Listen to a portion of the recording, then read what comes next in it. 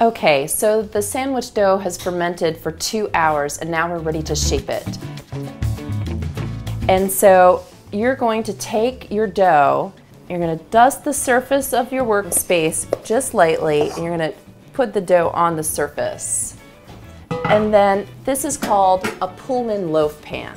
And this holds exactly 1.5 kilos of dough, which is exactly what we've made. And I'm just gonna quickly pull the lid off it's a non-stick pan, but you can always, if you're a little uncertain or a little afraid that it might stick, you can just sort of spray it very gently.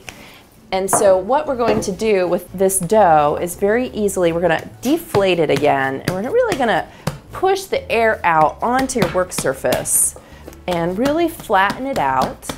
And then you're going to basically, mine sort of flattened out into a rectangle.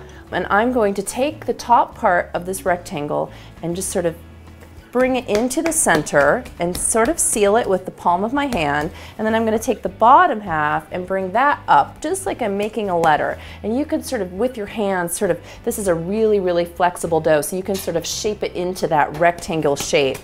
And so then I've got my seam down here, and then what I'm going to do is, it's about the length of the pan, I'm going to take the seam and put it down on the bottom of the pan, sort of smush my bread in. This is a really forgiving shape, so don't be afraid if it doesn't look like you've shaped it perfectly.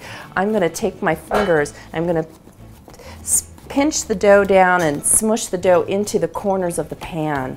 I'm just really gonna sort of even it out.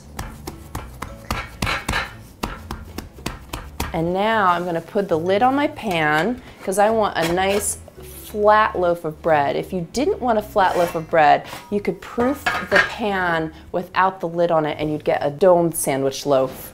I like it when it's flat, um, so I'm gonna put the lid on and I'm gonna leave it a crack open so I can watch the proofing.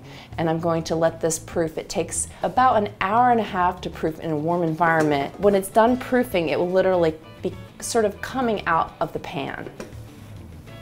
And you can see it's been about an hour and 40 minutes that it's been proofing and I helped it proof by putting it like close to the top of my stove and it's now grown out of the top and that is exactly what we want to see. We want that little bit of dough coming right out. I'm just going to quickly like close the lid and pull that little piece of dough right off. And then I'm going to put this in the oven and it bakes for one hour at 350 degrees.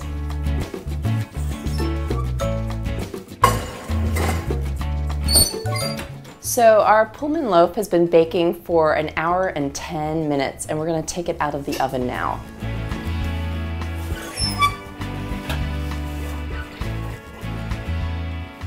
And when you're taking this out of the oven, the most important thing when you're taking a Pullman loaf out of the oven is to take it out of the pan immediately. Otherwise it will steam itself silly.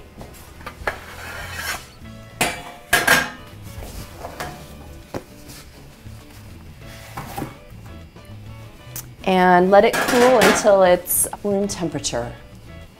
And that is how you make a sandwich loaf.